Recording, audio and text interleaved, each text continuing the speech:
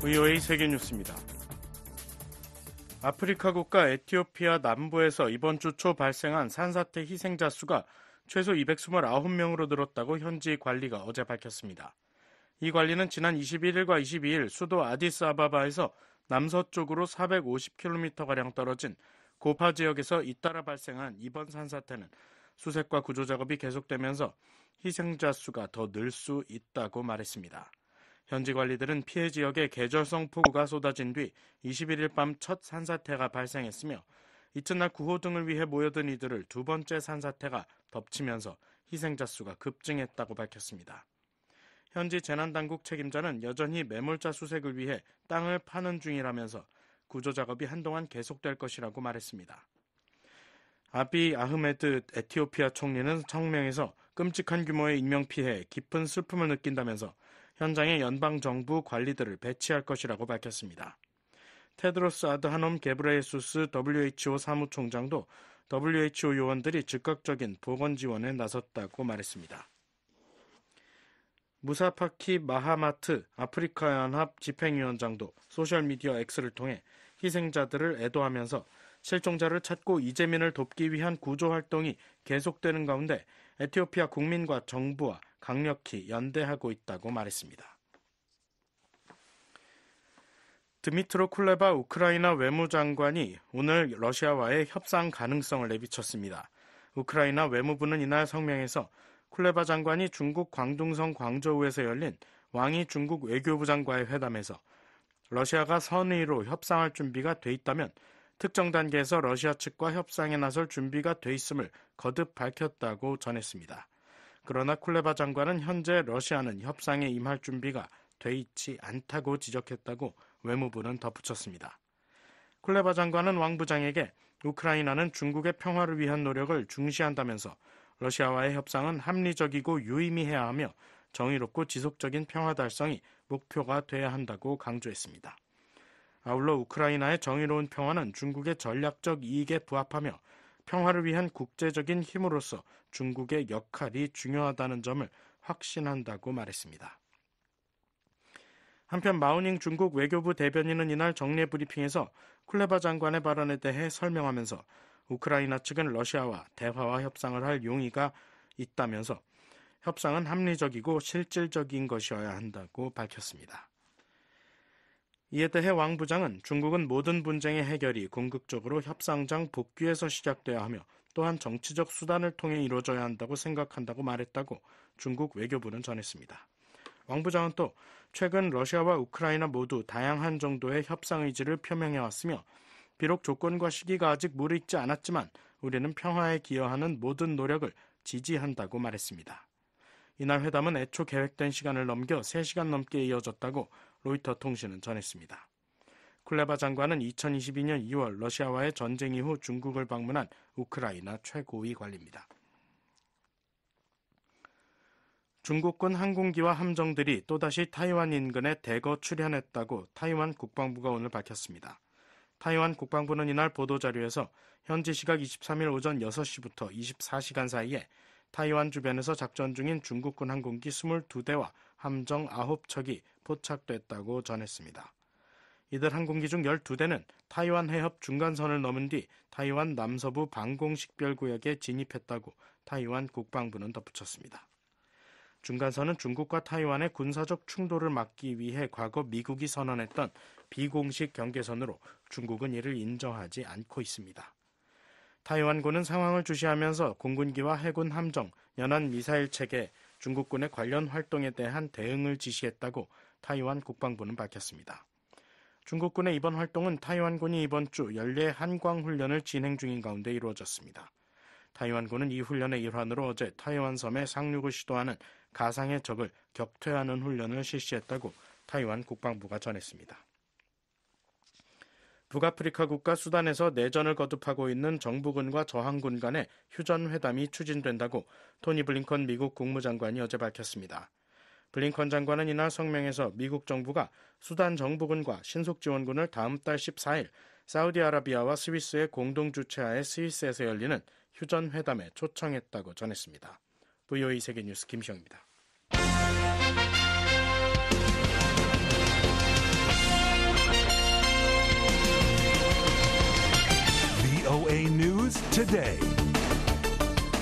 여러분 안녕하십니까?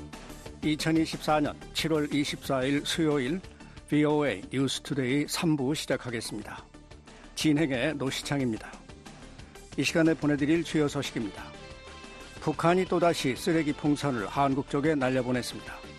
일부는 용산 대통령실 청사 국회 안에도 떨어졌습니다. 이스라엘에 대한 하마스 공격으로 죽거나 다친 미국인과 유족들이 북한을 상대로 10억 달러에 달하는 손해배상 소송을 제기했습니다. 핵 확산 금지 조약 NPT 당사국들이 북한 핵 개발과 북한 러시아 무기 거래를 규탄했습니다. 내일 북한 날씨 전 지역 대체로 흐리고 곳에 따라 소나기가 오겠습니다. 최저 기온 10도에서 25도, 최고는 24도에서 33도, 바다의 물결은 동해 앞바다 0.5 내지 1m, 서해 앞바다 0.5 내지 2m로 일겠습니다. 첫 소식입니다. 한국이 전방 지역에서 대북 확성기 방송을 전면 시행하고 있는 가운데 북한이 또다시 쓰레기 풍선을 한국 쪽에 날려보냈습니다. 일부 풍선은 용산 대통령실 청사 경내와 국회 안에도 떨어져 한국 측은 엄중하게 대응하겠다고 밝혔습니다. 서울에서 김환영 기자가 보도합니다. 한국합동참모본부는 북한이 24일 오전 6시에서 7시께부터 종이 등 쓰레기가 담긴 풍선을 띄워 한국 쪽으로 보냈다고 밝혔습니다. 합참은 북한이 평소보다 풍선을 높이 부양했고 풍선은 고도 2km 이상에서 북서풍을 타고 남쪽으로 넘어왔다고 설명했습니다.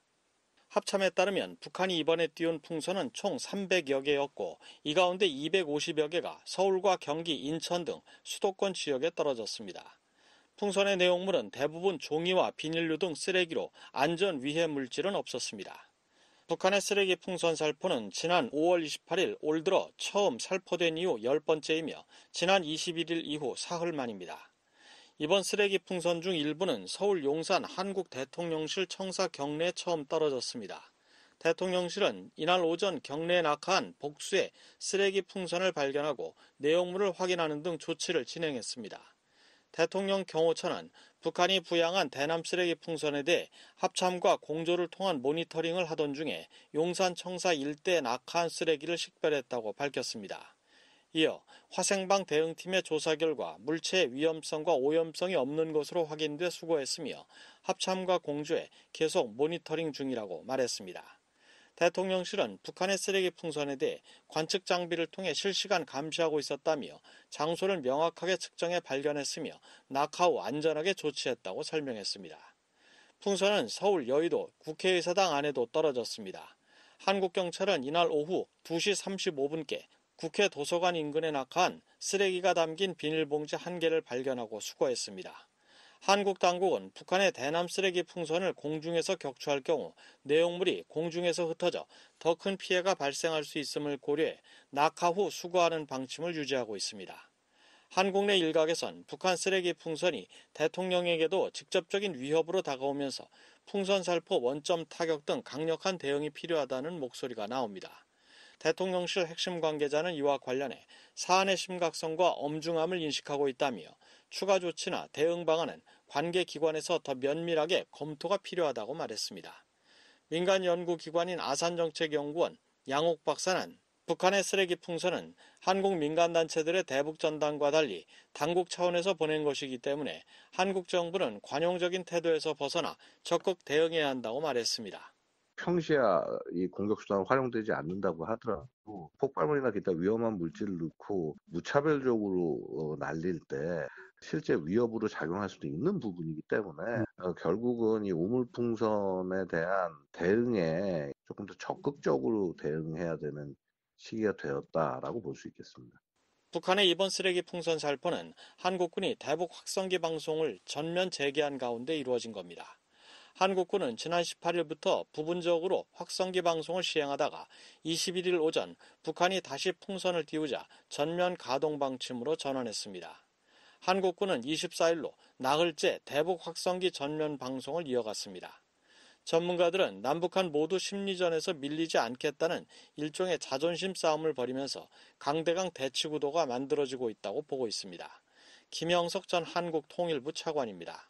지금 현재는 단순하게 대북 전단하고 풍선의 문제가 아니라 서로가 이렇게 밝힌 입장에 따른 하나의 그 자존심 문제도 있어요. 다른 표현은 명분이라고 하는데 그걸 갑작스럽게 바꿀 수 있는 상황이 아니잖아요, 지금. 좀 심각한 상황으로 가고 있어요. 김여정 북한 노동당 부부장은 지난달 9일 담화에서 만약 한국이 국경 너머로 삐라 살포 행위와 확성기 방송 도발을 병행해 나선다면 새로운 우리의 대응을 목격하게 될 것이라고 위협했습니다. 이 때문에 북한이 풍선 살포 이외에 또 다른 도발을 감행할 가능성이 제기됩니다.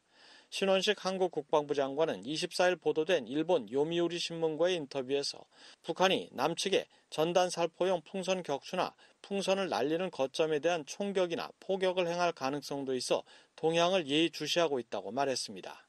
신 장관은 또 북한이 한국 측 민간단체의 대북 전단 살포에 대한 대응으로 지뢰 매설이나 무인기를 사용한 전단 살포, 위성 항법 장치 전파 교란, 사이버 공격 등 도발에 나설 수도 있다고 밝혔습니다. 한국 정부 산하 국책 연구기관인 통일연구원 조한범 박사는 북한이 원점이 노출되는 직접적인 군사 도발보다는 회색지대 도발에 나설 가능성이 크다고 예상했습니다. 한국군도 만일에 북한이 원점이 확인되는 도발을 하면 원점 타격 원칙을 적용을 해야 되거든요.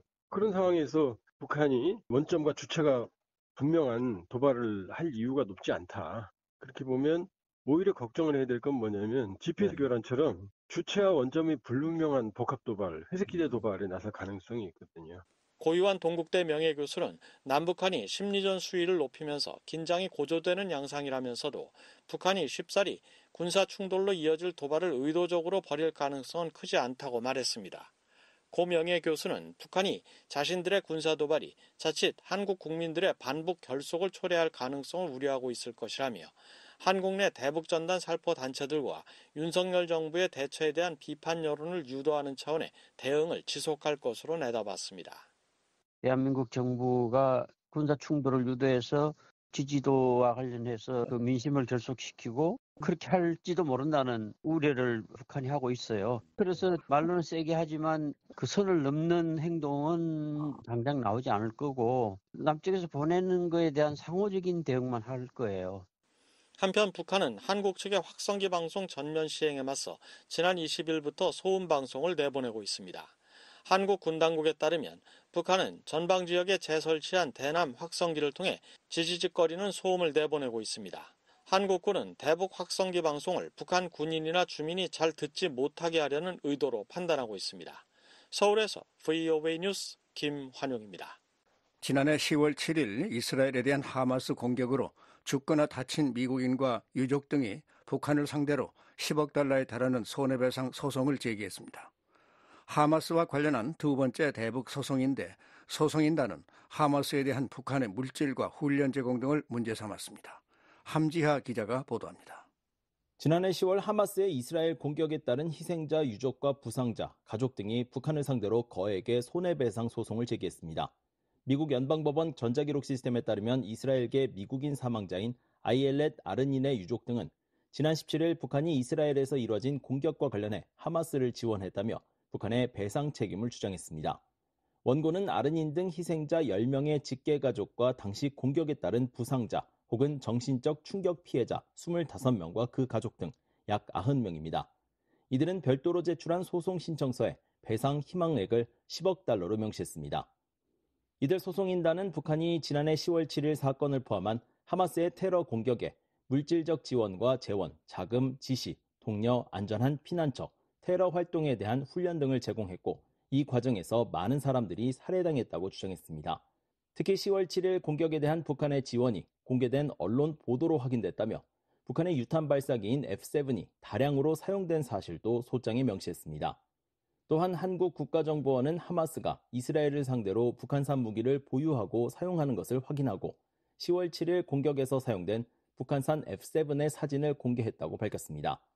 앞서 BOA는 이스라엘 현장 취재를 통해 하마스가 북한산 유탄 발사기를 살상력이 더 큰 대전차 무기로 개조한 사실을 확인한 바 있습니다. 또 F7 내부 부품에 적힌 한글도 발견해 보도했는데 이후 한국 국정원도 이 같은 BOA 보도가 사실이라고 밝혔었습니다. 소송인단은 북한과 하마스 등 중동 지역의 무장단체의 관계가 오랜 기간 이뤄져 온 사실도 강조했습니다. 그러면서 북한이 하마스에게 제공한 물질적 지원과 자원에 따른 직접적인 결과로 적어도 2009년부터 2023년까지 그리고 10월 7일 공격으로 하마스에 의해 수천 명의 무고한 사람들이 사망하거나 부상을 입었고 여기에는 이번 소송의 원고도 포함된다고 적시했습니다. 그 외에도 소장에는 북한이 하마스의 대규모 땅굴 건설을 도왔다는 내용 등이 담기는 등 북한과 하마스의 연계성에 많은 초점을 맞췄습니다. 미국 연방법은 다른 나라 정부를 상대로 소송을 제기하지 못하도록 하고 있지만 외국 주권 면제법을 근거로 북한과 이란, 시리아와 같은 테러 지원국은 예외로 하고 있습니다. 앞서 북한은 1988년 최초 테러 지원국으로 지정된 뒤 2008년 해제됐지만 2017년 11월 트럼프 행정부에 의해 다시 테러 지원국으로 지정돼 현재까지 이 지위를 유지하고 있습니다. 하마스의 이스라엘 공격과 관련해 북한이 피소된 건 이번이 두 번째입니다. 지난 1일 하마스의 공격으로 사망한 미국인 에이디리언 앤 네타의 유족 등 130여 명은 당시 하마스의 공격에 북한, 이란, 시리아 정권이 직간접적으로 연관됐다며 이들 나라가 10억 달러의 배상금에 더해 징벌적 손해배상 30억 달러를 별도로 배상해야 한다고 주장했습니다. 또 이스라엘의 니사나 다르시안 라이트너 변호사는 지난해 말 BOA에 지난해 10월 7일 공격에 책임을 물어 북한을 상대로 소송을 제기하겠다고 밝힌 바 있습니다. 다르시안 라이트너 변호사는 안타깝게도 하마스는 10월 7일에 1200명을 죽였고 그 중에는 미국인도 포함돼 있다며 이들에겐 북한을 고소할 권리가 있다고 말했습니다. Hamas killed um, 1,200 people in October 7th. 이어 북한은 하마스에게 무기를 제공했다며 그들은 하마스의 이번 학살에 따른 피해에 책임이 있다고 거듭 비판했습니다.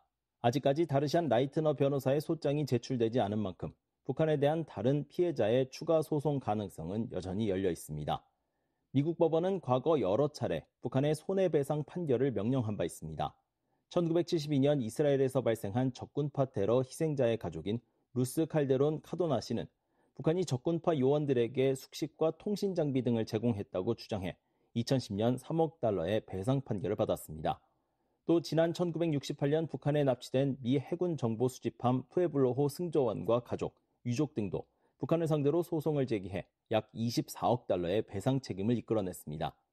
그 밖에 북한에서 억류됐다가 혼수 상태로 돌아와 숨진 미국인 오토 웜비어의 부모가 제기한 소송과 대북제재 위반 선박 와이즈 어네스트에 대한 미 검찰의 몰수 소송 등도 북한 정권을 미 법원에 세워 승소한 사례로 꼽힙니다. 현재 미국 법원에는 김동식 목사의 부인과 딸이 제기한 소송과 적군파 사건의 2차 소송인단의 소송 등이 계류돼 있습니다. VOA는 유엔 주재 북한 대표부에 이번 소송에 대한 입장을 문의하고 답변을 기다리고 있습니다. 앞서 김성 유엔 주재 북한 대사는 지난해 10월 유엔 총회 이스라엘 팔레스타인 관련 회의에서 일부 서방 국가들이 중동 위기를 우리와 억지로 연결하려는 대북 비방 책동을 벌이고 있는 것은 간과할 수 없는 문제라며 관련 주장을 일축한 바 있습니다. What cannot be overlooked is that some Western countries are resorting to similar campaign against DPRK. 이어 하마스가 북한제 무기를 사용하고 있다는 아키바 도르 주한 이스라엘 대사를 인터뷰한 BOA를 겨냥해 미국 행정부 소속 어떤 매체가 북한의 무기가 이스라엘 공격에 사용된 것으로 보인다는 근거 없고 거짓인 소문을 퍼뜨리고 있다고 반발했습니다. BOA 뉴스 함재합니다. 핵 확산 금지 조약 NPT 당사국들이 북한 핵 개발과 북한 러시아 무기 거래를 규탄했습니다. 한국은 러시아의 북한의 군사력 증강을 돕는 모든 행위를 즉각 중단할 것을 촉구했습니다. 안소영 기자가 보도합니다. 제네바에서 23일 속개된 2026년 핵확산 금지 조약 11차 평가회의 제2차 준비위원회 이틀째 회의에서도 북한의 완전한 비핵화를 촉구하는 목소리가 이어졌습니다. 한국의 윤성미 주 제네바 대표부 군축회의 대표는 북한의 핵 야욕은 비확산 체제는 물론이고 인도 태평양 영내 및 그 너머의 평화와 안보에 심각한 위협이 되고 있다고 지적하며 우리는 다수의 유엔 안보리 결의를 노골적으로 위반하는 북한의 불법적인 핵과 미사일 프로그램을 강력히 규탄한다고 밝혔습니다. In particular, the DPRK's nuclear ambitions pose a grave threat to the non-proliferation regime as well as to peace and security of the Indo-Pacific region and beyond. we strongly condemn the DPRK's 그러면서 북한은 완전하고 검증 가능하며 되돌릴 수 없는 방식으로 모든 핵과 미사일 프로그램을 포기하고 관련 유엔 안보리 결의를 준수하며 NPT와 IAEA 안전 조치에 즉각 복귀해야 한다고 말했습니다. 또한 북한과 러시아의 군사적 협력이 지속적으로 확대되고 있는 것은 우려스러운 상황이라고 지적했습니다. 특히 최근 합의된 러시아와 북한 간 전략적 동반자 관계 조약에는 핵 협력이 포함되어 있다는 점을 상기했습니다. 그러면서 우리는 NPT 기탁국인 러시아가 안보리 결의의 명백한 위반에 해당하는 북한의 군사력 증강을 돕는 모든 행위를 즉각 중단할 것을 촉구한다고 강조했습니다. 영국은 이날 회의에서 북한이 계속 비확산 체제를 약화시키고 국제 안보를 위협한다고 지적했습니다. 아일랜드도 북한 핵과 탄도미사일 프로그램이 영내 및 국제 평화와 안전에 심각한 위협이며 우리는 우크라이나에 대한 불법 전쟁에서 사용하기 위해 러시아의 탄도미사일 및 기타 무기와 관련 물자를 이전하는 북한의 행위를 규탄한다고 밝혔습니다. Chairman, the DPRK's nuclear and ballistic missile programs are a serious threat to regional and international peace and security. And we condemn the transfer of ballistic miss- missiles and other 아일랜드 arms 대표는 이어 우리는 북한의 이 같은 행동을 즉각 중단하고 탄도미사일과 핵 및 다른 대량 살상 무기 프로그램을 완전하고 검증 가능하며 되돌릴 수 없는 방식으로 포기할 것을 촉구한다고 말했습니다. 수잔네 레그라프 독일 군축 및 군비 통제 담당 부대표는 중국의 지속적인 핵 군비 증강과 이란의 전례 없는 핵 활동 가속화는 큰 우려를 불러온다고 말하고 게다가 북한의 지속적인 핵무기 프로그램과 탄도미사일 개발은 국제 비확산 노력의 큰 도전 과제라고 지적했습니다.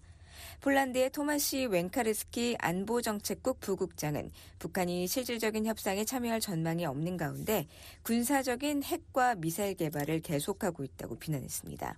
게다가 북한은 추가 핵실험 가능성을 내비치며 위험한 신호를 보내고 있다며 북한의 완전한 비핵화를 촉구했습니다.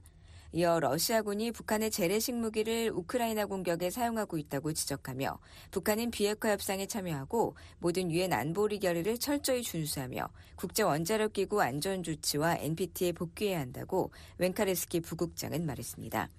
하지만 북한과 러시아는 무기 거래 사실을 강하게 부인하고 있습니다. 바실리 네반자 주유엔 러시아 대사는 지난 6월 28일 북러 무기 거래 문제를 논의하기 위해 열린 안보리 공개 회의에서 북러 무기 거래는 사실이 아니다라며 부인했습니다. 김남혁 유엔 주재 북한 대표부 3등 서기관은 지난 2월 유엔 총회 회의에서 우리는 러시아와 무기 거래를 한 적이 없으며 앞으로도 그럴 계획이 없다고 주장했습니다. 북한은 또 핵과 미사일 개발이 자위권 차원이라고 주장하고 있습니다. NPT 평가회의는 핵무기 보유국과 비보유국들이 조약 이행 상황 점검을 위해 개최하는 국제회의로 5년마다 개최됩니다. 제11차 NPT 평가회의는 2026년 개최될 예정이며 이에 앞서 세 차례의 준비위원회가 열립니다. 22일 개막한 제2차 준비위원회는 8월 2일까지 계속됩니다. 1985년 NPT에 가입한 북한은 국제 원자력 기구가 공개되지 않은 두 곳의 영변 핵 시설에 대한 특별 사찰을 요구하자 이를 거부하며 1993년 3월 NPT 탈퇴를 선언했습니다. 이후 북한은 NPT 탈퇴를 유보했지만 2차 북핵 위기가 발생하자 2023년 1월 또다시 일방적으로 NPT 탈퇴를 선언했습니다. BOA 뉴스 안수영입니다. 미 국방부가 지속적으로 심화되고 있는 북한과 러시아 간 군사 협력에 대한 우려를 나타냈습니다. 국방부는 관련 움직임을 계속 면밀히 주시할 것이라고 밝혔습니다. 이재훈 기자가 보도합니다. 펜라이더 국방부 대변인은 23일 러시아 국방부 차관이 최근 북한을 방문한 데 대해 우크라이나 전쟁과 관련해 북한과 러시아의 협력이 계속 심화되고 있는 건 우려스러운 일이라고 말했습니다. Well, again, it's it's uh, it's concerning that we continue to see uh, North Korea and Russia. Um, 라이더 대변인은 이날 정례 브리핑에서 관련 질문에 이같이 말하며 여러 번 언급했듯이 이는 러시아가 병참 문제를 겪으면서 추가 역량을 확보하기 위해 이란과 북한 같은 국가로부터 지원을 요청하고 있다는 사실을 보여주는 것이라고 밝혔습니다. 그러면서 북러 협력 움직임은 앞으로도 계속 긴밀히 주시해야 할 사안이라고 강조했습니다. 앞서 19일 북한 관영 조선중앙통신은 김정은 북한 국무위원장이 전날 노동당 본부청사에서 북한을 방문한 알렉세이 크리보룩치고 러시아 국방부 차관이 이끄는 러시아 군사대표단을 접견했다고 전했습니다. 이 자리에서 김 위원장은 우크라이나 특수 군사 작전에 대한 북한 정부의 강력한 지지와 굳건한 연대를 표시했다고 통신은 보도했습니다. 통신은 또김 위원장이 북러 두 나라가 지역과 세계 평화, 국제적 정의를 수호하는 데서 중요한 몫을 해야 한다고 말했다고 덧붙였습니다. 북한과 러시아는 우크라이나 전쟁을 계기로 관계를 심화하고 있습니다. 특히 북한이 러시아의 우크라이나 전쟁에 쓰인 무기를 제공한 가운데 양국 정상은 최근 군사 동맹에 준하는 수준인 새 방위 조약까지 체결했습니다. 북한과 러시아는 국제사회가 구체적인 증거를 제시했음에도 불구하고 양국 간 무기 거래 사실을 부인하고 있습니다. 마이클 오헨런 브루킹스 연구소 선임 연구원은 VOA에 이제 러시아는 대북 제재를 지지하지 않을 뿐만 아니라 북한의 다양한 무기 개발과 야망도 적극적으로 돕고 있다며 북러 관계 심화는 지정학적으로 큰 변화라고 밝혔습니다. Well, the first thing to say is that it is important. It is a big change.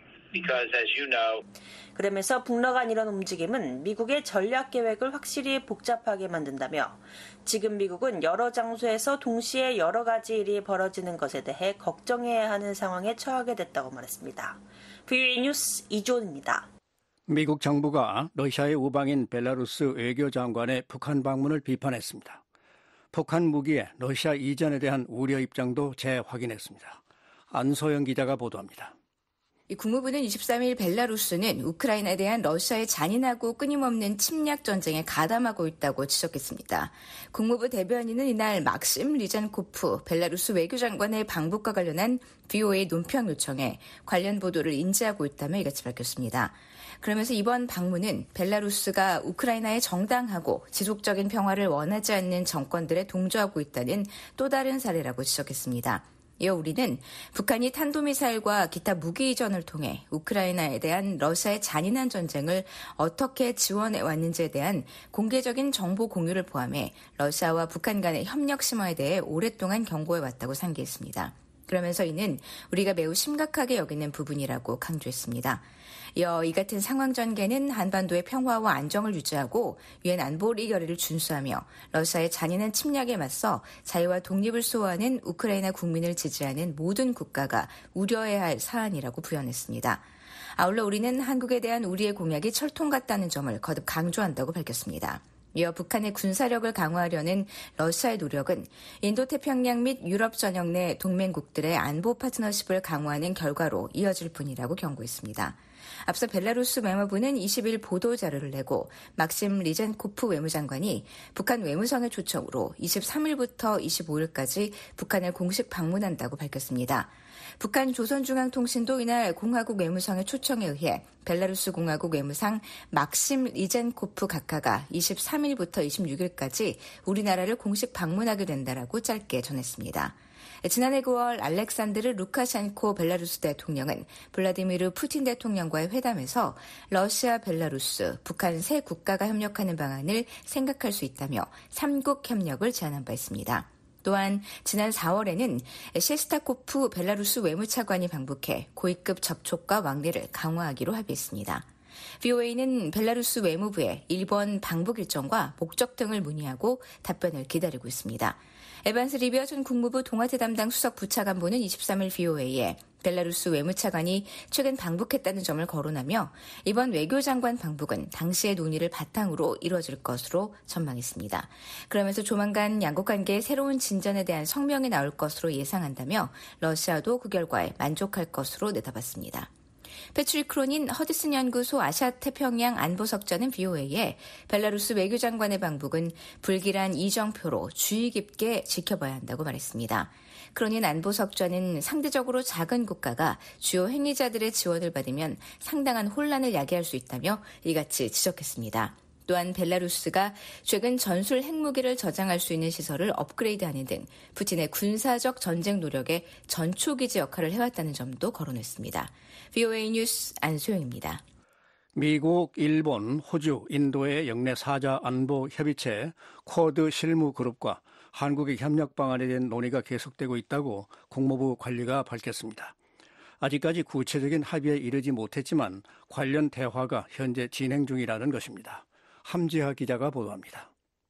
카밀 도슨 국무부 동아태 담당 부차관보는 23일 국무부 외신 기자클럽 간담회에서 한국은 쿼드 실무그룹의 구체적인 일부 노력 분야에서 향후 잠재적인 협력 파트너로 논의되는 나라 중 하나라고 말했습니다. The ROK is absolutely one of those countries that um, has been discussed as a 이어 아직은 그 단계에 이르지 못했지만 이러한 대화는 계속되고 있다며 우리는 특정 분야에서 영내 파트너와 협력할 수 있는 방법을 찾는 것부터 시작하고 있다고 덧붙였습니다. 그러면서 공동 해양 영역 인식 등에서의 협력을 그 사례로 들었습니다. 이어 다른 많은 잠재적 기회가 분명 존재한다며 우리는 계속해서 그러한 기회를 살펴볼 것이라고 도슨 부차관보는 강조했습니다. 쿼드는 미국, 인도, 일본, 호주 등 4개국으로 이뤄진 정부 간 안보 협의체입니다. 도슨 부차관보는 미국을 비롯한 모든 쿼드 파트너들은 쿼드에서는 물론 그 외 다자와 양자 그룹에서 우리가 하고 있는 일에 대해 한국과 정기적으로 논의를 하고 있다고 말했습니다. with our uh, ROK counterparts. We do uh, on the U.S. government side, and I know 이어 이 같은 논의를 통해 서로의 필요를 가장 잘 충족시킬 방법에 대해 생각한다면서 이러한 대화는 계속되고 있다고 확인했습니다. 앞서 지난 3월 한국 정부 고위 당국자는 한국 언론과 만난 자리에서 쿼드의 실무 그룹 참여를 가속화하겠다고 밝힌 바 있습니다. 특히 윤석열 한국 대통령은 후보 시절부터 쿼드 실무 그룹 참여를 공약했으며 당선 이후에는 가입 제안을 긍정적으로 검토할 것이라고 말했습니다. 실제로 윤 대통령은 당선인 시절이던 2022년 5월 VOA 한국어 서비스와의 인터뷰에선 기후 문제에서 첨단 기술 분야까지 실무그룹의 참여 활동 범위를 좀 넓혀야 될 것 같다고 말하기도 했습니다. 앞서 토머스 시퍼 전 주일 미국 대사는 지난 4월 VOA와의 인터뷰에서 한국의 쿼드 가입과 관련해 우리 모두가 목표로 삼아야 할 일이라고 생각한다면서 이는 태평양 지역에서 평화를 유지하려는 공동의 목표를 토대로 통합하는 것이라고 말했습니다. I think uh, that is certainly something that uh, all of us should aspire to. I think the more that we can 미국 해군 전쟁대학의 테렌스 로리그 교수는 미한일 3국 정상회의가 열린 지난해 8월 VOA에 미한일 관계 발전의 중요성을 강조하며 미한일 관계가 쿼드와 오커스의 중간쯤에 있다고 평가했습니다. 그러면서 쿼드에 대해 전통적인 안보 문제를 넘어 역내 공통의 우려를 해결하기 위해 일종의 연합을 구성하려는 광범위한 노력이라고 말했습니다. 반면 미한일 3국 관계는 전통적인 안보 협력은 물론 경제 협력과 기술, 연구 협력도 대대적으로 추진하고 있기 때문에 쿼드나 오커스와는 또 다른 성격을 띠고 있다고 로리그 교수는 설명했습니다. 뷰의 뉴스 함재합니다. 북한 인권 전문가들이 점점 더 악화되고 있는 북한 상황에 대해 끝까지 책임을 물어야 한다고 강조했습니다. 인권 범죄에 공소시효나 면책이 없다는 점도 지적했습니다. 안준호 기자가 보도합니다. 모르스탄 전 국무부 국제형사사법대사가 23일 북한 정권에 인권 유린에 대한 책임을 묻기 위한 행동을 취해야 한다고 말했습니다. It's the defectors who are speaking out against the injustices of the regime.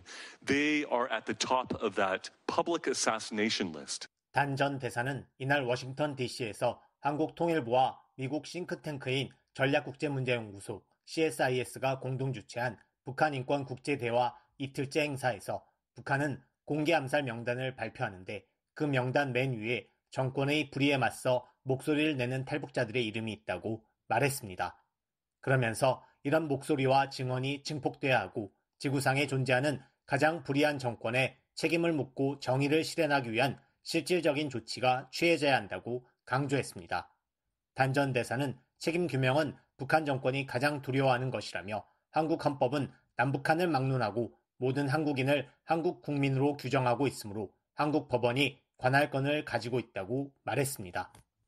이어 김정은은 한국에서 기소될 수 있다면서 북한은 책임 규명을 죽도록 두려워하고 있다고 말했습니다.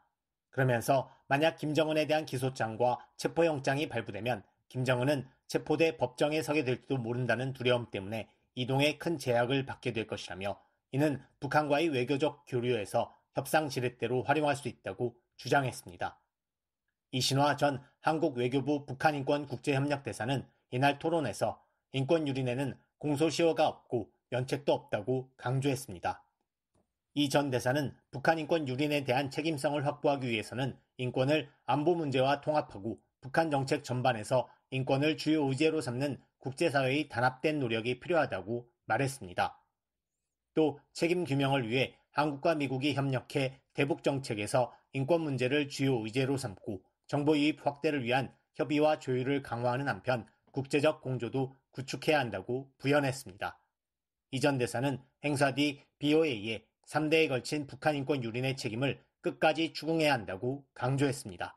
첫 번째는 김정은뿐 아니라 김일성, 김정일, 김정은으로 이어지는 그 3대 세습 속에서 너무나 많은 사람들이 죽어나갔고 너무나 많은 사람들이 고통을 받았는데 그 부분이 하나도 address 되지 않고 그 세습이 된다는 그 자체가 저는 굉장히 큰 책임 규명이라고 생각을 하고요. 조현동 주미 한국 대사는 이날 개회사에서 북한의 인권 유린은 오로지 지배 권력을 유지하기 위해 존재하는 기괴한 공포사회의 일부분일 뿐이라며 그러나 우리는 공포만으로는 정권을 유지할 수 없다는 진실을 알고 있다고 말했습니다. 이어 굶주리는 주민들을 먹이고 그들의 기본적인 필요를 충족시키고 복지를 개선하지 않는다면 체제에 균열이 생길 것이고 댐이 한번 무너지면 멈출 수 없다면서 최근 고위 관리들의 탈북은 이 과정이 이미 진행 중일 수 있다는 단서라고 말했습니다. 그러면서 사람들이 체제가 개선 불가능하다는 걸 인식하면 체제를 포기하고 그 구조가 무너져 모두가 함께 무너지기 전에 탈출하려 할 것이라며 그래서 지금이 바로 외교적 압박을 배가해야 하는 순간이며 북한 주민들의 삶에 긍정적인 변화를 가져올 수 있는 전략을 구상해야 할 중요한 시기라고 말했습니다. North Korean human rights abuses are just small part of a grotesque society of fear, a society that exists solely to keep the ruling powers. 엘리자베스 살몬 유엔 북한 인권 특별 보고관은 이날 행사 뒤 BOA에 탈북민 강제 북송과 관련해 중국에 계속 문제를 제기하고 있다면서 모든 국가는 인권에 대한 기본 원칙을 갖고 있고 그 중 하나는 고문이나 다른 대우를 받을 것이라고 믿을 만한 충분한 근거가 있는 곳으로 보내선 안 된다는 강제 송환 금지 원칙이라고 말했습니다. I think that uh, every state need to understand that there is there are some basic rules concerning human rights and 마이클 커비 전 유엔 북한인권위원회 COI 위원장은 이날 BOA에 COI 활동으로 많은 북한 인권 유린과 관련한 끔찍한 정보가 전 세계에 알려진 것은 의심할 여지가 없다면서도 좋은 보고서였지만 여기에 만족해선 안 된다고 강조했습니다. 그러면서 북한 인권 개선을 위해서는 국경을 개방하고 북한 젊은이들에게 지식을 전달하기 위해 기술을 사용할 수 있다면서 그것이 바로 김정은과 그의 정권이 가장 걱정하는 것인데 젊은이들과 그들의 마음이 지식과 진실에 의해 변화하는 것이라고 말했습니다. 이어 이를 위해서는 기술이 필요한데 남과 북의 한국인들은 기술 분야에서 대단히 훌륭한 기술을 갖고 있기 때문에 가능할 것이라고 말했습니다. I think uh, we could use technology uh, to leap the border and to get the knowledge into the young people. 북한 노동당 39호실 고위관리 출신인 리정호 씨는 자신은 김정은 구좌에 돈이 얼마 있다는 것을 알고 있다면서 그 돈을 풀었다면 북한 주민들이 그렇게 굶어 죽지는 않는다면서 김정은이 매해 수십억 달러를 미사일과 핵 개발에 쓰고 자기 호화로운 사치 생활에 쓰는데 그 돈을 일부만 돌려도 북한 주민들이 굶주리지 않는다고 증언했습니다. 그러면서 주민들이 30여 년간 기아에 허덕이게 만드는 것은 북한 독재자가 반인도적 범죄를 저지르고 있는 만행이라며 독재자의 책임을 물어야 한다고 강조했습니다. 북한은 국제사회의 북한 인권 문제 제기에 강하게 반발하고 있습니다. 방광혁 제네바 주재 북한 대표부 차석 대사는 지난해 3월 유엔 인권 이사회에서 북한에 대한 주장은 오만하고 비열한 목적을 위한 정치적 동기에서 비롯된 것이라고 주장하며 이는 존재하지 않는 인권 문제를 날조함으로써 북한의 이미지를 실추시키려는 불법 행위라고 비난했습니다. BOA 뉴스 안준호입니다. 조 바이든 대통령이 대선을 석 달여 앞두고 민주당 후보직을 전격 사퇴한 데 대해 미국의 정치 전문가들은 대선 판도를 뒤흔들 이례적 사건이라고 평가했습니다. 다만 바이든 사퇴에 트럼프 전 대통령 암살 시도까지 겹치면서 일시적 혼란은 있겠지만 미국 민주주의의 위기로 이어지지는 않을 것이라고 전망했습니다. 조상진 기자가 보도합니다. 미국의 정치학자들은 선거를 불과 100여일 앞두고 현직 대통령이 재선 도전을 포기한 것에 대해 전례 없는 일이라고 입을 모았습니다.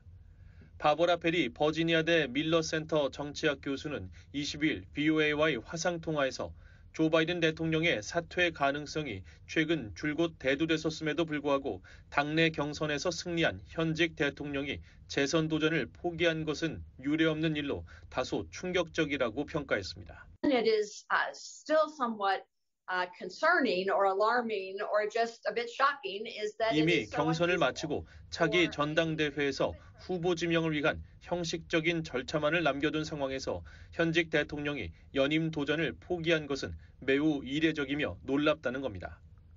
국승민 미시간 주립대 정치학 교수도 이날 VOA와의 화상 통화에서 바이든 대통령의 대선 후보 사퇴를 미국 및 국제 정치에 큰 영향을 미칠 수 있는 사건으로 정의했습니다. It is um, definitely unprecedented. There has been some presidents who decided to 테리 투르먼과 린든 존슨 전 대통령 등 재선에 도전하지 않기로 결정한 예가 있긴 하지만 선거를 불과 석 달여 앞둔 막판에 불출마를 선언한 것은 전례가 없다는 설명입니다. 그러면서 이것은 매우 중대한 결정이 될 것이며 올해 전체 대선 판도를 뒤흔들 것이라고 전망했습니다. 션 세비지 세인트 메리 노틀담대 정치학 교수는 23일 VOA와의 화상 통화에서 바이든 대통령의 민주당 후보 사퇴에 대해 두 개의 관점에서 살펴봐야 한다고 말했습니다. 민주적 정당성과 절차의 관점에서 보면 1,500만여 명의 미국인 중 95%가 민주당 예비선거와 코커스에서 바이든 대통령에게 투표했는데 바이든 대통령이 사퇴하고 경선에 참여하지 않는다면 이는 예비선거 유권자들의 뜻을 거스르는 것이라는 주장이 가능하다는 겁니다. Well, as far as the small d democratic legitimacy and processes, yes, one way of arguing it is that 또 다른 관점은 예비 선거와 코커스에서 바이든 대통령에게 압도적 지지를 보낸 민주당 유권자들이 현재 대부분 그의 사퇴를 바란다는 여론조사가 계속 이어져 왔다는 것이라고 지적했습니다. 이어 바이든 대통령의 사퇴 결정을 민주적 견해에 입각해보면 민주당 유권자 다수의 의사를 반영한 것으로도 볼 수 있다고 평가했습니다. 그러면서 이 문제를 바라보는 두 가지 관점 모두 일견 타당하다고 말했습니다. 81세의 고령에도 재선 도전에 나섰던 조 바이든 대통령은 지난 21일 민주당 대선 후보직을 전격 사퇴했습니다. 바이든 대통령은 사퇴 서한에서 재선에 도전하는 것이 나의 의도였지만 남은 임기 동안 대통령으로서의 의무를 다하는 데만 집중하는 것이 당과 국가에 가장 큰 이익이 된다고 생각한다고 밝혔습니다.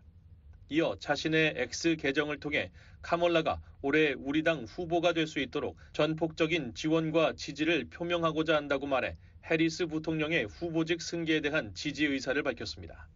다만 해리스 부통령이 실제로 민주당의 대선 후보가 될지는 아직 확실치 않습니다.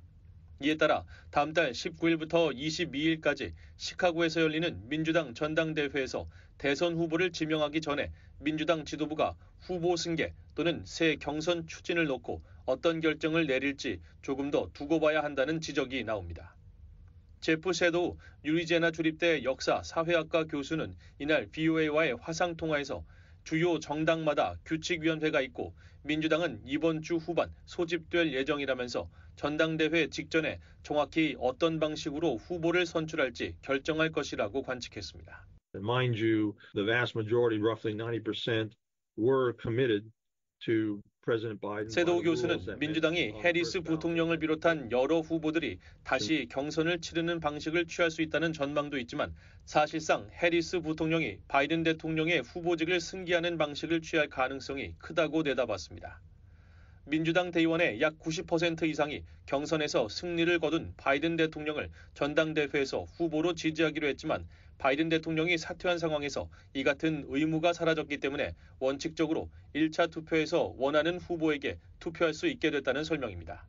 그러면서 전당대회 대의원으로 배정된 사람들을 대상으로 일종의 가상 투표를 통해 만장일치로 특정 후보를 지지하는 결정을 내릴 것이며 현재로서는 바이든 대통령의 지지를 받은 해리스 부통령이 그 자리를 차지할 가능성이 가장 높다고 전망했습니다.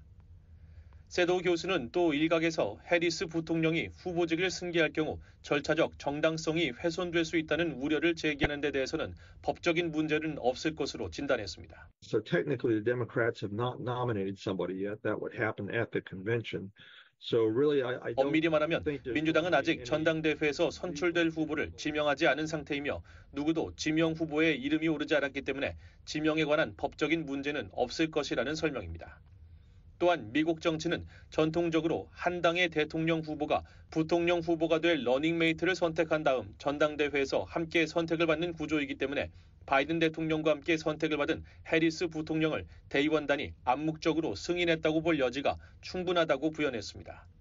다만 선거운동의 재정적 측면과 관련된 다른 법적, 기술적인 문제는 있을 수 있을 것이라고 지적했습니다. 미국의 선거법에는 후보자가 선거에서 더 이상 후보가 아니게 된 경우 선거를 위해 기부받은 모든 금액은 기부자에게 반환 또는 환불되거나 재기속된다는 조항이 있는데 이 같은 조항은 보통 후보가 경선에서 탈락한 경우 적용된다는 것입니다. 그러면서 후보가 스스로 사퇴한 경우에 대한 전례가 없고 선거자금 승계에 대해서도 명확한 법률적 합의가 아직 없다는 점에서 논란이 일부 제기될 여지는 있다고 내다봤습니다. 전문가들은 바이든 대통령의 후보 사퇴가 도널드 트럼프 전 대통령에 대한 암살 시도로 공화당에 쏠렸던 대중의 관심을 일단 민주당으로 돌리게 할 것으로 진단했습니다.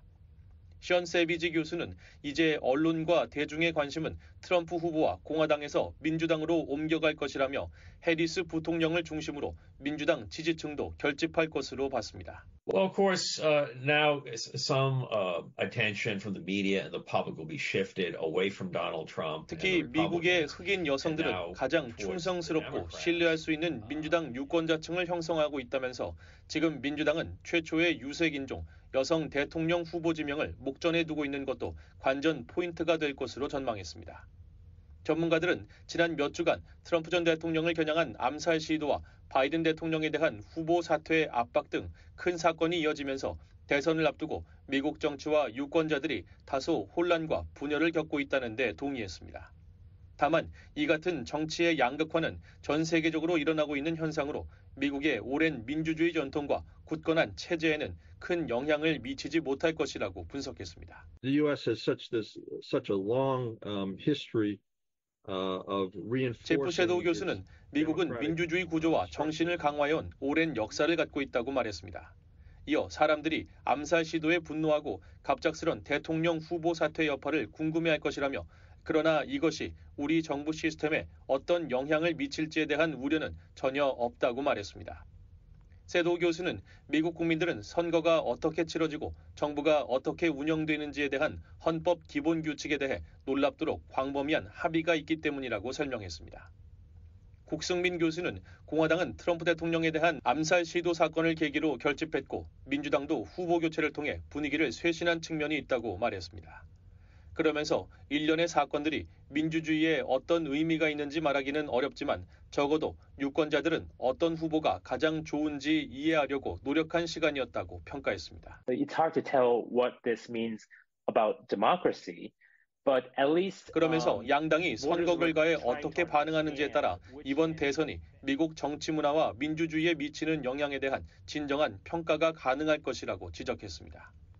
바보라 페리 교수는 후보에 대한 선호와 관계없이 후보를 겨냥한 암살 시도는 좋은 모습이 아니며 자유세계 지도자인 미국 대통령의 건강이 좋지 않은 것처럼 보이는 것도 좋지 않다면서 미국 정치에 대한 미국 국민과 국제사회의 우려가 있을 것이라고 말했습니다. Uh, an attempted assassination on a candidate, no matter what one thinks about him. 그러면서 이번 사건과 올해 대선을 통해 혼란을 극복하고 단합된 미국을 위한 기회로 삼을 수 있도록 정치인들이 더 노력해야 한다고 강조했습니다. BOA 뉴스 조상진입니다.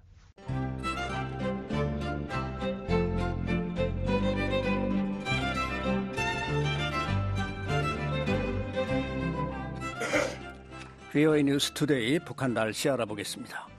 내일 북한은 전 지역이 대체로 흐리고 평안도와 함경도는 비가 오는 곳이 있겠습니다. 황해도와 함경남도는 오전부터 저녁 사이에 소나기가 오는 곳이 있겠습니다. 최저 기온은 16도에서 25도, 최고는 24도에서 33도, 바다의 물결은 동해 앞바다에서 0.5 내지 1m, 서해 앞바다에서는 0.5 내지 2m로 일겠습니다. 지역별 날씨 살펴보겠습니다. 평안남북도 자강도 지역입니다. 평양은 오전에 흐리고 한때 비가 오는 곳이 있고 오후에는 구름이 많고 가끔 비가 오겠습니다. 최저 18도, 최고 32도. 안주 흐리고 한때 비가 오겠습니다. 최저 24도, 최고 29도. 남포 구름 많고 오후 한때 비가 내리겠습니다. 최저 25도, 최고 32도. 신의주는 흐리고 비가 내리겠고 오후에는 한때 비가 내리겠습니다. 최저 23도, 최고 27도. 중강 흐리고 비가 내리겠고 오후에 한때 비 내립니다. 최저 21도, 최고 29도. 강계 흐리고 비가 내리겠고 오후에는 가끔 비가 오겠습니다. 최저 22도, 최고 29도. 희천 흐리고 비가 내리겠고 최저 23, 최고 29. 다음 황해남북도 경기도 지역입니다. 해주 흐리겠습니다. 최저 25도, 최고 30도. 개성 흐리고 오후 한때 소나기가 내리고 최저 25도, 최고 31도. 사리원 구름 많고 오후 한때 소나기가 내리고 최저 25도, 최고 31도. 다음 함경남도, 양강도, 강원도. 함흥은 오전에 구름 많고 오후에 흐리고 한때 비가 오는 곳이 있겠습니다. 최저 23도, 최고 32도. 신포는 구름이 많고 최저 23도, 최고 29도. 해산은 흐리고 비가 내리고 최저 12도, 최고 29도. 장진 흐리고 오후에 한때 비가 내리겠습니다. 최저 18도, 최고 26도. 다음 원산입니다. 구름 많고 최저 24도, 최고 33도. 청진 흐리고 오후에 가끔 비가 내리겠습니다. 최저 22도, 최고 27도. 선봉은 흐리고 가끔 비가 내리고 최저 22도, 최고 27도. 삼지연도 흐리고 가끔 비가 내리겠습니다. 최저 16도, 최고 24도. 이어서 해상 날씨입니다. 동해 전 해상 구름 많고 한때 비가 오는 곳이 있겠습니다. 물결 앞바다에서 0.5 내지 1m, 먼바다 0.5 내지 1.5m입니다. 서해는 오전에 흐리고 한때 비가 오는 곳이 있고 오후에는 구름 많고 오전 한때 비가 오는 곳이 있습니다. 물결은 앞바다에서 오전에 0.5 내지 1.5m, 오후에는 1 내지 2m로 일겠습니다. 먼 바다는 오전에 1 내지 2m, 오후에는 1 내지 2.5m로 일겠습니다. 지금까지 뉴스투데이 3부를 보내드렸습니다. VOA 한국어 저녁 방송 잠시 후에 세계 뉴스 보내드립니다.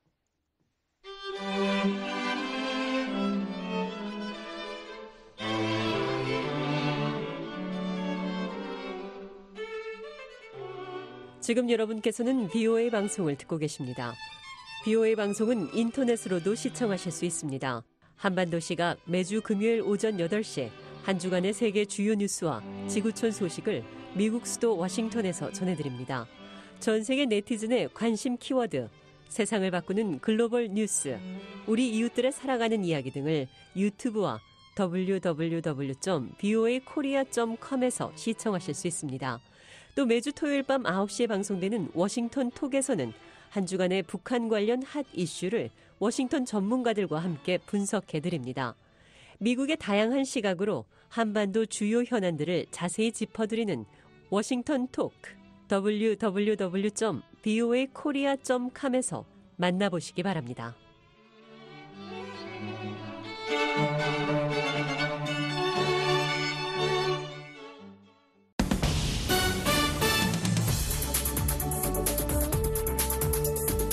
VOA 세계 뉴스입니다.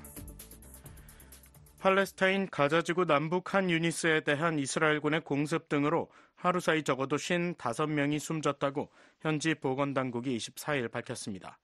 이로써 이스라엘과 하마스 간의 전쟁 이후 사망한 팔레스타인인 수는 이날 현재 3만 9천 명을 넘어섰다고 하마스가 통제하는 가자지구 보건당국이 주장했습니다. 로이터 통신은 현지 주민들을 인용해 최근 이스라엘군의 계속되는 공격으로 칸 유니스 동쪽 마을 주택들이 여러 채 파괴되고 수천여 명이 피난처를 찾아 서쪽으로 이동했다고 전했습니다. 앞서 이스라엘군은 22일 칸 유니스 서쪽 알마와시 일대에 설정됐던 인도주의 피난 지역 중 동쪽 일부에 하마스가 테러 기반 시설을 설치했다는 정보를 입수했다며 주민들에게 대피를 권고한 뒤 바니 수하일라 마을 등에 대한 공격을 계속했습니다. 주민들은 이스라엘군이 이집트와의 접경 지역인 가자 남단 라파시 서쪽에서도 주택 여러 채를 파괴했다고 말했습니다. 한편 미국을 방문 중인 베냐민 네타냐후 이스라엘 총리는 25일 조 바이든 미국 대통령과 정상회담을 갖고 가자 지구에서 10개월 가까이 계속되고 있는 전쟁 관련 현안들을 논의할 예정이라고 백악관이 밝혔습니다. 아프리카 국가 에티오피아 남부에서 이번 주 초 발생한 산사태의 희생자 수가 최소 229명으로 늘었다고 현지 관리가 어제 밝혔습니다. 이 관리는 지난 21일과 22일 수도 아디스아바바에서 남서쪽으로 450km가량 떨어진 고파 지역에서 잇따라 발생한 이번 산사태로 수색과 구조 작업이 계속되면서 희생자 수가 더 늘 수 있다고 말했습니다. 현지 관리들은 피해 지역에 계절성 폭우가 쏟아진 뒤 21일 밤 첫 산사태가 발생했으며 이튿날 구호 등을 위해 모여든 이들을 두 번째 산사태가 덮치면서 희생자 수가 급증했다고 밝혔습니다. 현지 재난당국 책임자는 여전히 매몰자 수색을 위해 땅을 파는 중이라면서 구조 작업이 한동안 계속될 것이라고 말했습니다. 아비 아흐메드 에티오피아 총리는 성명에서 끔찍한 규모의 인명 피해에 깊은 슬픔을 느낀다면서 현장에 연방 정부 관리들을 배치할 것이라고 밝혔습니다. 테드로스 아드하놈 게브레예수스 세계보건기구 WHO 사무총장도 요원들이 즉각적인 보건 지원에 나섰다고 말했습니다. 무사파키 마하마트 아프리카 연합 집행위원장도 소셜미디어 X를 통해 희생자들을 애도하면서 실종자를 찾고 이재민을 돕기 위한 구조 활동이 계속되는 가운데 에티오피아 국민과 정부와 강력히 연대하고 있다고 말했습니다. 드미트로 쿨레바 우크라이나 외무장관이 오늘 러시아와의 협상 가능성을 내비쳤습니다. 우크라이나 외무부는 이날 성명에서 쿨레바 장관이 중국 광둥성 광저우에서 열린 왕이 중국 외교부 장과의 회담에서 러시아가 선의로 협상할 준비가 돼 있다면 특정 단계에서 러시아 측과 협상에 나설 준비가 돼 있음을 거듭 밝혔다고 전했습니다. 그러나 쿨레바 장관은 현재 러시아는 협상에 임할 준비가 돼 있지 않다고 지적했다고 외무부는 덧붙였습니다. 쿨레바 장관은 왕 부장에게 우크라이나는 중국의 평화를 위한 노력을 중시한다면서 러시아와의 협상은 합리적이고 유의미해야 하며 정의롭고 지속적인 평화 달성이 목표가 돼야 한다고 강조했습니다. 아울러 우크라이나의 정의로운 평화는 중국의 전략적 이익에 부합하며 평화를 위한 국제적 힘으로서 중국의 역할이 중요하다는 점을 확신한다고 말했습니다. 한편 마우닝 중국 외교부 대변인은 이날 정례 브리핑에서 쿨레바 장관의 발언에 대해 설명하면서 우크라이나 측은 러시아와 대화와 협상을 할 용의와 준비가 돼 있다고 전하면서 협상은 합리적이고 실질적이어야 할 것이라고 밝혔습니다. 이에 대해 왕 부장은 중국은 모든 분쟁의 해결이 궁극적으로 협상장 복귀에서 시작되어야 하며 또한 정치적 수단을 통해 이루어져야 한다고 생각한다고 말했다고 중국 외교부는 전했습니다. 북아프리카 국가 수단에서 내전을 계속하고 있는 정부군과 저항군 간의 휴전회담이 추진된다고 토니 블링컨 미국 국무장관이 어제 밝혔습니다. 블링컨 장관은 이날 성명에서 미국 정부가 수단 정부군과 신속 지원군을 다음 달 14일 사우디아라비아와 스위스의 공동 주최하에 스위스에서 열리는 휴전 회담에 초청했다고 전했습니다. 아프리카 연합과 이집트, 아랍에미리트 연합, 유엔이 참관 자격으로 참여하는 이번 회담은 수단 전반에 걸친 폭력의 중단이 목표라고 블링컨 장관은 밝혔습니다. 그러면서 내전으로 수백만 명의 수단인들이 아사 위기에 처했으며 천만 명에 가까운 이재민이 발생했다고 말했습니다. 블링컨 장관은 양측이 회담에 참여해 생명을 구하고 싸움을 중단하며 상호 협의된 정치적 해법을 모색해야 한다는 절박한 심정으로 건설적인 접근을 해줄 것을 당부했습니다. 이어 이번 회담은 내전 피해로 도움이 필요한 모든 이들에게 인도적 접근을 가능케 하고 합의 이행을 보장하기 위한 강력한 감시와 검증 체계의 개발도 목표로 하고 있다고 블링컨 장관은 설명했습니다. 수단에서는 수단 정부군과 신속 지원군이 지난해 4월부터 1년 넘게 무력 충돌을 계속하고 있습니다. VOA 세계 뉴스 김시영입니다. 지금까지 여러분께서는 VOA 저녁 방송을 들으셨습니다. VOA 저녁 방송은 저녁 8시부터 자정까지 4시간 동안 중파 1188kHz를 통해 들으실 수 있습니다. 또 밤 9시부터 10시까지는 단파 9350, 9490, 12080kHz로 밤 10시부터 11시까지는 단파 9350, 12045, 12080kHz로 또 밤 11시부터 12시까지는 단파 9405, 12045, 12080kHz로 청취 가능합니다. 매일 새벽 2시부터 3시까지 1시간 동안은 중파 1566kHz로 또 매일 새벽 4시부터 6시까지 2시간 동안은 단파 5875, 7365, 7465kHz로 들으실 수 있습니다. 함께 해주신 여러분 고맙습니다. 다음 방송 시간까지 안녕히 계십시오.